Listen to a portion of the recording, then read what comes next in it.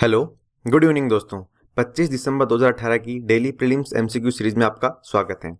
चलते हैं आज के कुछ क्वेश्चंस की तरफ़। इससे पहले कल के जो क्वेश्चंस थे, उनके आंसर देखते हैं और कल एक क्वेश्चन में आंसर है, वो गलत था तो उसको भी हम यहाँ पे चेक कर लेते हैं।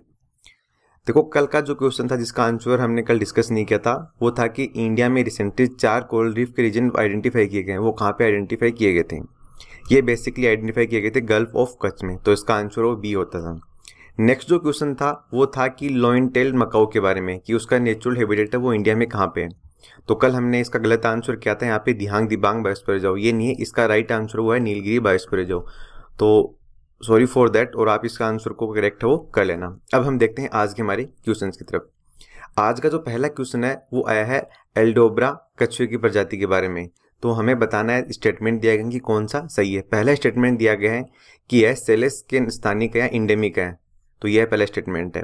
दूसरा स्टेटमेंट यह दिया गया है कि यह ग्रह और दुनिया के सबसे लंबे समय तक प्यार करने वाले जानवरों पर कछुए की सबसे बड़ी प्रजाति है। और थर्ड स्टेटमेंट यह दिया गया है कि यह आयुसीएन की जो रेड लिस्ट है, उसमें लुफ्त प्राय लिस्ट में शामिल किए गए तो देखो, हम बात करें यहाँ पे थर्ड स्टेटमेंट है, वो गलत है। क्यों? क्योंकि यह आयुसीएन की उनरेबल लिस्ट में शामिल है, ना कि लुफ्त प्राय लिस्ट में। तो इसलिए थर्ड को अगर हम एलिमिनेट करेंगे तो हमारे पास ऑप्शन बचेगा ए यानी फ़र्स्ट और सेकेंड दोनों स्टेटमेंट सही हैं। अभी न्यूज़ में इसलिए थे क्योंकि भारत के जो प्रधानमंत्री हैं, वो सेलेक्स यात्रा पे गए थे और वहाँ पे उनको बेस, ये कछुए हैं, वो गिवेट है, वो किए गए थे। तो ये इसलिए इम्पोर्टेंट हो जाते हैं। इसके साथ ही सेकंड जो क्वेश्चन है, वो है गोल्डन लंगूर के बारे में। दो स्टेटमेंट दिए गए हैं, हमें करेक्ट ऑप्शन को चूज़ है वो करना है। पहला स्टेटमेंट ये दिया गया है कि हिमालयन रीजन में इंडेमिक है। देखो तो इंडेमिक का मतलब हमने काफ़ी बार डिस्कस किया है कि वो प्रजाति जो पर्टिकुलर उसी एरिया में पाई जाती है मतलब वहाँ की लोकल होती है और इसके अलावा ऑल अदर वर्ल्ड में कहीं भी नहीं पाई जाती। सेकेंड स्टेटमेंट ये कह रहा है कि ये आई की थिएटर लिस्ट में शामिल है। तो देखो हम बात करें गोल्डन लंगूर की तो ये आई की इंडेंजर लिस्ट में शामिल है। ना कि थिएटर लिस्ट में। इसके साथ ये हिमालय के रीजन में पाए नहीं जाते, ये पाए जाते हैं भूटान के एरिया में भी और इंडिया के आसाम वाले रीजन में। तो पहला स्टेटमेंट भी गलत है सेकंड भी गलत है। तो करेक्ट आंसर की हम बात करें तो डी इसका आंसर होगा। नेक्स्ट जो क्वेश्चन है, वो आया है बारापानी लेक के बारे में। देखो, बारापानी लेक है वो कौन से स्टेट में पहला ऑप्शन है हिमाचल प्रदेश, दूसरा मेघालय, तीसरा मणिपुर और चौथा त्रिपुरा। तो अभी बारापानी लेक न्यूज़ में थी और ये है यहाँ पे मेघालय से। बारापानी लेक है वो मेघालय में है। नेक्स्ट जो क्वेश्चन है, वो है वेस्टर्न घाट के बारे में। क्वेश्चन ये है कि निम्नलिखित मापदंडों में से, जो तीन मापदंड हमें आइडेंटिफाई करने हैं, जिनकी वजह से जो ही वेस्टर्न घाट हैं, वो और इसी के साथ ही श्रीलंका और जो इंडो म्यांमार वाला जो बायोडाइवर्सिटी का एरिया है, उसको मान्यता प्रदान की गई है। मतलब क्वेश्चन में हमें ये पूछा गया है कि वो कौन से तीन मापदंड हैं जिनके आधार पे बायोडाइवर्सिटी हॉटस्पॉट का जो दर्जा है, वो वेस्टर्न घाट को और Sri Lanka and indo Burma region को प्रोवाइड करवाया गया है। तो हमें तीन जो कारण है, वो बताने हैं। पहला ऑप्शन आपके सामने दिया गया स्पीसीज रिचनेस मतलब जो वहाँ पे काफ़ी ज़्यादा प्रजाति हैं, वो पाई जाती हैं। सेकेंड स्टेट में ये दिया गया है कि वेजिटेशन डेंसिटी मतलब वहाँ पे उत्सर्जन घनत्व है। थर्ड स्टेटमेंट दिया गया है कि इंडेमिक या वहाँ पे समस्थानिक मतलब वहाँ पे इंडेमिक स्पीसीज ज़्यादा पाई जाती हैं। फोर्थ ऑप्शन आपके सामने है, यहाँ पे कि जातीय वनस्पति का महत्व ज़्यादा है।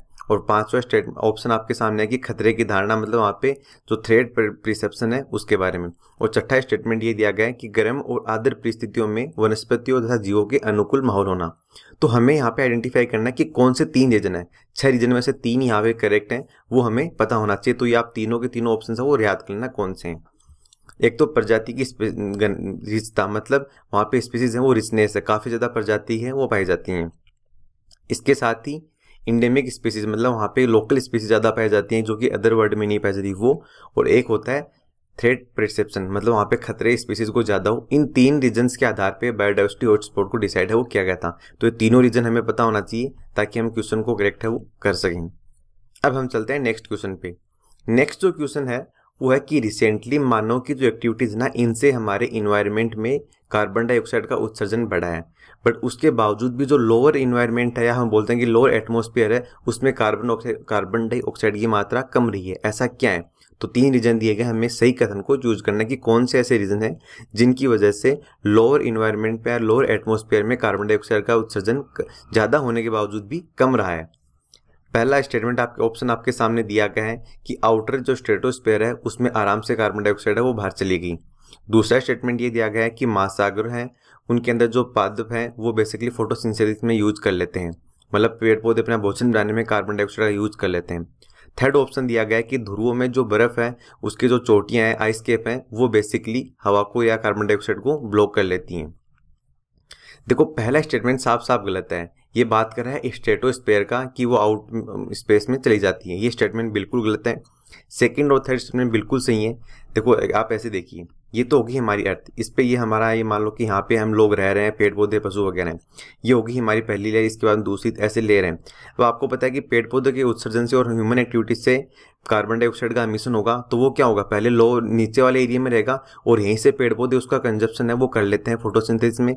और इसी के साथ ही जो हिमालय का रीजन ले सकते हो या फिर जो और भी ध्रुवीय एरिया हैं जहाँ पे बर्फ़ जमी हुई है काफ़ी भारी मात्रा में, उनकी चोटियाँ भी बर्फ़ कार्बन डाइऑक्साइड को एब्जॉर्व है, वो कर लेती हैं। तो सेकंड और थर्ड ऑप्शन सही है, पहला यहाँ पे गलत है तो इसका ऑप्शन हो जाएगा यहाँ पे सी नेक्स्ट जो क्वेश्चन है, वो है कि आपके सामने तीन ऑप्शन दिए गए हैं। आपको बताना है कि जो ये ऑर्गेनिज्म है, इनका यूज़ कहाँ पे हो सकता है?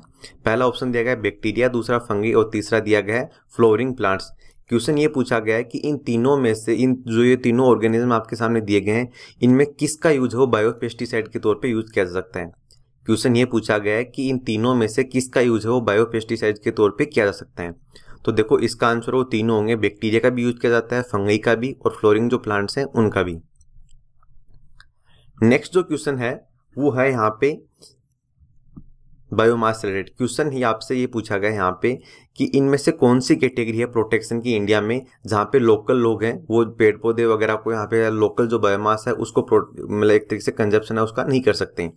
मतलब ये पूछा गया है कि बायोस्फीयर रिज़र्व नेशनल पार्क या फिर वेटलैंड जो कि रामसर साइड के अंडर है, या फिर वाइल्ड लाइफ सेंचुरी इनमें से कौन सा ऐसी एरिया है, जहाँ पे लोकल पीपल जाके लकड़ियाँ वगैरह कलेक्ट है, वो नहीं कर सकते तो देखो, वो है नेशनल पार्क नेशनल पार्क में कम्प्लीटली लोकल लोग होते हैं, उनको एक वहाँ पे बायोमास को कलेक्ट करने के लिए मनाही होती है, क्योंकि वो काफ़ी सेंसिटिव होते हैं। तो इसका ऑप्शन यहाँ पे बी होगा। नेक्स्ट जो दोनों क्वेश्चन है, वो आपके लिए होमवर्क है। पहला क्वेश्चन आपके सामने है कि निम्नलिखित में कौन सा पाणिनि द्वारा लिखा गया है? पहला है आर्यभट्ट दूसरा मनुस्मृति, तीसरा अष्टाध्यायी और चौथा है नन ऑफ़ दिस तो आपको बताना कि कौन सा इसमें से पाणिनि द्वारा लिखा गया है। सेकंड जो क्वेश्चन है, वो है किस मुगल शासनकाल में चित्रकला और कला का विकास है, वो हुआ था? पहला ऑप्शन है अकबर, दूसरा शाहजहां, तीसरा जहांगीर, चौथा औरंगज़ेब। तो आपको बताना है कि कौन सा मुगल शासक था जिसके टाइम पे कला और चित्रकला का विकास काफ़ी ज़्यादा हुआ था? तो वो आपको यहाँ पे सिलेक्ट है, वो करने ये थी आज की हमारी डिस्कशन तो फ़िलहाल की डिस्कशन में इतना ही है। तो thank you thank you very much for discussion